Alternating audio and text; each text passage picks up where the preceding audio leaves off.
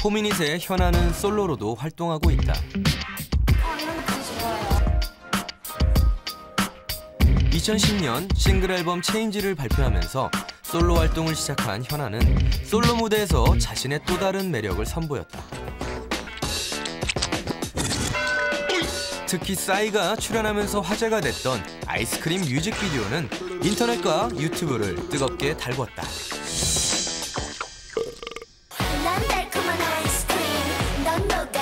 아이스크림 발표와 함께 현아는 해외에서 K-팝의 아이콘으로 떠올랐다.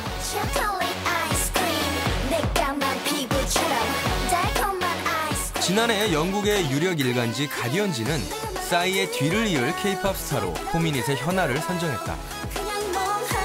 지난 2월에는 마돈나와 같은 세계적인 가수들이 표지를 장식하는 영국 패션 잡지 팝의 표지 모델로 선정됐다. 때는 되게 재미있게 촬영했어요. 배우는 기분이었고 그냥 있는 모습 그대로를 좋아해 주시는 게 너무너무 고마웠어요. 저는 처음에는 혹시 내가 주눅들진 않을까?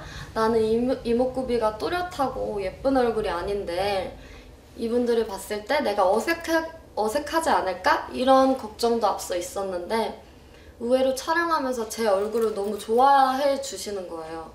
제가 의상을 입었을 때 그런 소화하는 능력이 이제 또 외국 분들이랑 또 다른 느낌이 나니까 그런 색다른 모습들을 너무 재미있어 하고 귀여워해주고 자신의 매력을 발산하면서 해외에서 새롭게 주목받고 있는 가수 현아. 그 뒤에는 K-팝을 키워낸 기획사들의 과학적인 매니지먼트가 있다.